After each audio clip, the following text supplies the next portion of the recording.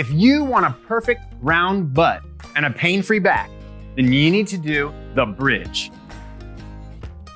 Like this?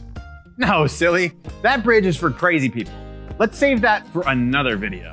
What you need is to learn how to do the glute bridge with perfect form. And that's exactly what I'll show you in this video.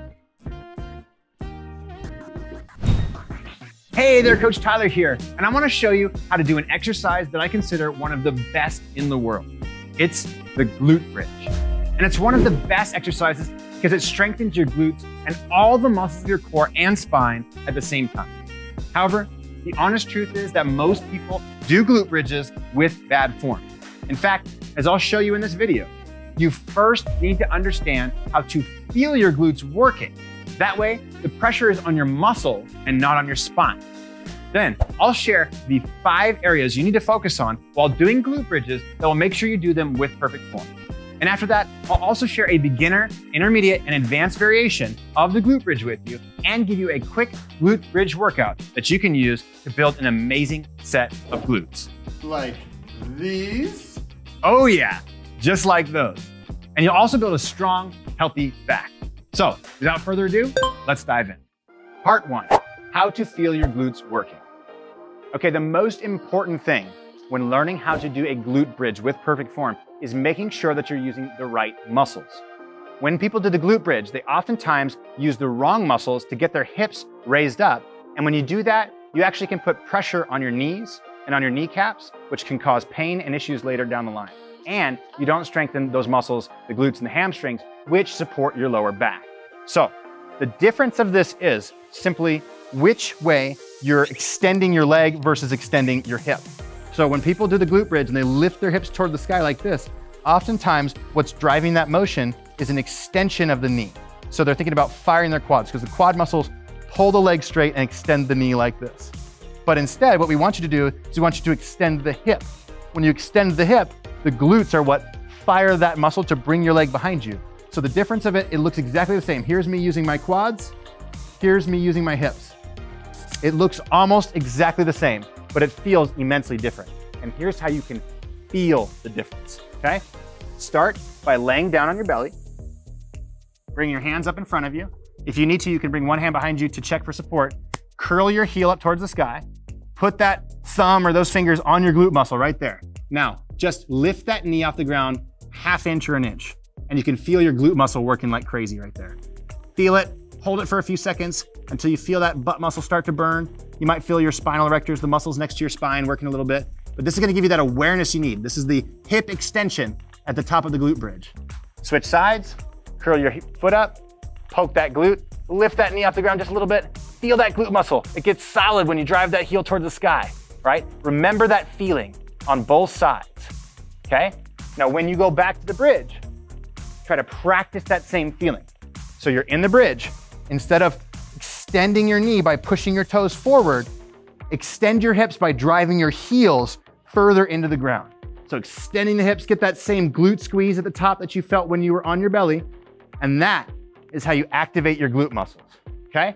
So practice that exercise along with the glute bridge to help you gain awareness of what it feels like to do this exercise with perfect form, meaning that you're using the correct muscles to extend your hips instead of the wrong muscles to extend your hips. So practice this and then move on to the variations that I'll teach you in a second. Part two, five tips for perfect form. Okay, now I'm gonna show you how to do the glute bridge with perfect form, and I'm gonna show you five tips, five key things to focus on to make sure you know how to do the glute bridge with perfect form, okay? So, start out lying on your back. Your feet are gonna go slightly outside of hip width, toes are almost forward, maybe they're turned out a slightly, either way, whatever feels most comfortable to you. From there, I want you to focus on your arms first. So tip number one is arms, okay? You should have the backs of your hands toward the ground, and you should have them pressed into the ground the whole, whole time. So you should literally be applying force right here. That's gonna help your shoulder blades go into the right position, which is tip number two. So arms, backs of the hands toward the ground. Shoulders, shoulder blade is next. Drive your fingertips towards your heels. You see this is, this is me shrugged up. This is bad position. This is me with my shoulders down and my hands pressing the ground. That's a good position.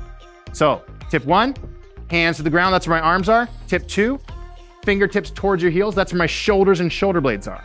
Tip number three is the core. Before you lift up, your belly should not be soft. So what you wanna do is you wanna brace your core. What that means is if I draw a line between my belly button and my hip, the top of my hip right here, and I put my fingers right between the middle of that line, I want to push those fingers out with my core muscles. I wanna maintain that on every single rep. So hands down, shoulders down, core, all right? That's one, two, and three.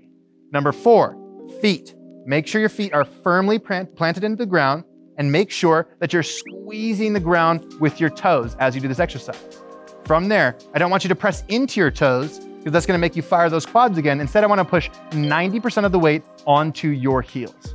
And finally, number five is the knees. As you go up and down, when you look down at your knees, you should make sure they're not going from side to side. Instead, whatever direction your knee is going is the same direction your toes should be going. That's gonna protect that knee joint because it's a hinge joint. It only opens and closes. It shouldn't go side to side, okay? So real quick to recap, you're gonna go hands toward the ground, arms pressing the ground, shoulder blades down, like pushing your fingertips towards your heels, core tight, feet firmly planted, most of the weight on those heels, knees going the same direction as your toes. Then you're gonna inhale as you go up, squeeze those glutes. Remember those glutes, guys? Exhale as you come down. Inhale as you go up, squeeze those glutes. Exhale as you come down. And on every rep, try to run through that list. Arms, shoulders, core, knees, feet. Arms, shoulders, core, knee, feet. Think about each one of those pieces of this movement and practice it slow and controlled using all these tips to make sure that you do that glute bridge with perfect form. Before we move on to some more variation, can you do me a quick favor and hit the subscribe button and then press the little bell icon right now? That way, you'll always know when we release a new video. Okay, on to the next variation. Part three, the best glute bridge variations. Okay, for this part, I'm gonna show you three different variations of the glute bridge. And you can pick which variation you wanna do for what I'm gonna show you next. The first one's beginner, the second one's intermediate, and the last one is a little bit more advanced. So let's start out with the beginner exercise right now, which is called the glute bridge lift. So, just like I taught you in the five tips, I want you to think about all those same things again. Arms towards the ground, fingertips toward the heels for the shoulders, right? Core tight, feet flat, planted flat and firmly with the toes going the same direction as the knees. From there, inhale as you lift your hips up, exhale as you lift your hips down, and repeat for reps. So this is the glute bridge lift. This is the most beginner variation. It's a nice, easy variation, but you can still strengthen your glutes, strengthen your balance and coordination, and especially your core if you fire it properly all at the same time. Now, if that's too easy, we're gonna do the next variation, which is called the glute bridge hold. Now, as you can imagine, this isn't a lift where you go up and down into position. Instead, you're just gonna hold the top position. So, same thing. Hands and arms pressed down, shoulders down, fingertips towards those heels, core tight. See me get that core tight right there? Feet planted flat, knees going same direction as toes. I'm gonna lift up and I'm just gonna hold that position. And while you hold that position, don't become passive. What that means is I'm not just holding this and everything's chill and relaxed, right? I wanna have my fingertips driven towards the ground, my hands driven towards the ground, my, my feet driving into the heels right there, knees driving the toes, squeezing my glutes, always trying to get my hips even higher on every single second as you hold this exercise. Breathe shallow, taking small breaths, while still focusing on keeping that core tight the entire time on the hold. Now, if that hold is still too easy, we're gonna do another variation called the one leg glute bridge lift. So it's gonna make it a whole lot harder, okay? So for this variation, you guessed it, everything's the same, only we're gonna do it on one leg. So there's one tip I wanna give you on the one leg glute bridge lift is when you're in this position and your leg is fully extended, what you wanna make sure is that you don't let your hips tip to the side or that they don't go up high like this or that your leg isn't like this and your pelvis is in balance or it's not hiked up like this. So essentially, if you want, you can put your hands on your hips and your goal is to make sure that it stays parallel to the ground and parallel to your shoulders, meaning there's no twisting this way and there's no hiking up and down this way. So come into the bridge position, hands on the hips just to make sure your pelvis is stable, leg out straight, toes to your nose to keep that leg tight. Extend the hips, getting that same glute firing, making sure those pelvis is level, Come back down and repeat. Inhale, extend the hips. Exhale, come back down. You wanna make sure to practice on the other side too, planting that foot flat. This time I'll do the good form, arms flat, shoulders down, right?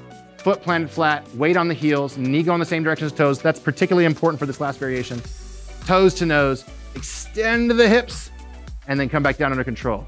Think about those hips being balanced, parallel to your shoulders, parallel to the ground. Inhale as you go up, exhale as you go down, slow and controlled, focusing on that glute contraction.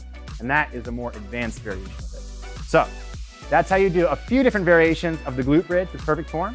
Then we're gonna choose which variation you're gonna use and show you how to put it together into a simple Hey, really quick, if you're enjoying and finding this content useful, then I think you would love the membership program we have at WeShape, where it's less about how you look and more about how you feel.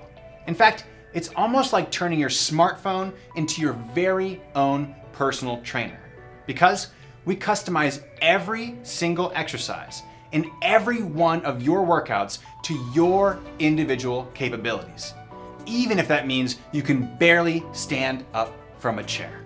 Just click the link below, take our new client survey, and you can try it for free for 14 days. Okay, you now know how to feel your glutes work. You know the five tips to use to make sure you're doing glute bridges with perfect form. And you have three different variations of the glute bridge to choose from. So let me explain how to put this all together into a simple five minute workout you can use. First, you'll want to pick which variation of the glute bridge you want to use. Will it be glute bridge lifts, glute bridge hold, or the one leg glute bridge lifts? Once you've decided, the best way to put this together into a workout is to do the following.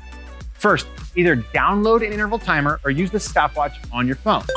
Start by doing 40 seconds of whatever variation of the glute bridge you chose to work with. If you choose the one leg glute bridge lift, make sure you switch legs at 20 seconds halfway through the 40 seconds of work.